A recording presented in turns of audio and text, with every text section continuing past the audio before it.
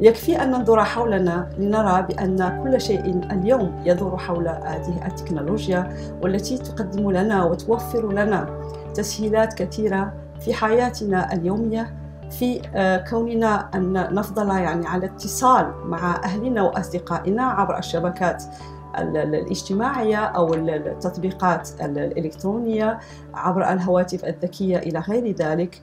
وكذلك في المجالات الاقتصادية الصحية وكذلك في تجهيز البنيات التحتية للدول بالأخص النامية والتي هي في طريق النمو. رسالتي للعنصر النسوي لاندماجي والانخراط في هذا المجال الذي هو مجال تكنولوجيا الاتصالات والمعلومات.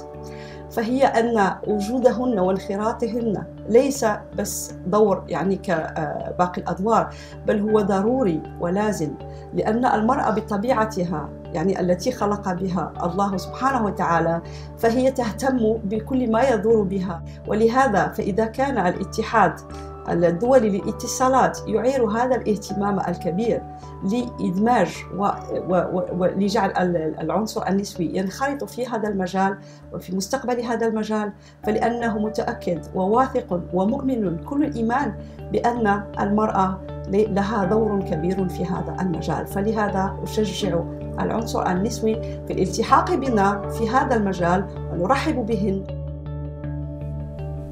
Be part of Girls in ICT Day 2016.